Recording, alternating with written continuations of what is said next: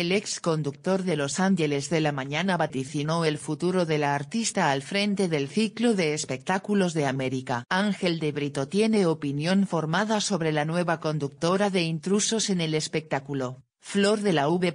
Desde que se conoció, a mediados de diciembre, que el ciclo de espectáculos de las tardes de América dejaba de tener a Rodrigo Lusich y a Adrián Payares como sus conductores, la intriga creció.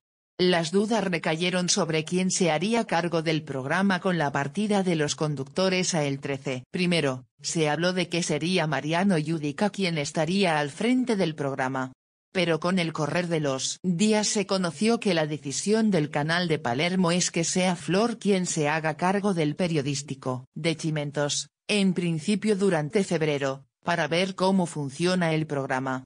Y Ángel dio su opinión sobre esta nueva apuesta que involucra a Flor, quien supo ser panelista de su programa, Los Ángeles de la Mañana, y que tiene experiencia en la conducción de distintos formatos. Consultado por un seguidor en Twitter, a De Brito le preguntaron cómo se veía conduciendo intrusos desde marzo, haciendo alusión a que, si la prueba con De la V fallaba, lo podían llamar a él para ser el nuevo capitán del vivo diario. Como suele hacer, estando al aire o como ahora, en tiempos de vacaciones, Ángel le contestó al usuario, y con su respuesta dejó al descubierto cómo considera que le irá a Flor al frente del aire de noticias sobre el mundo del espectáculo.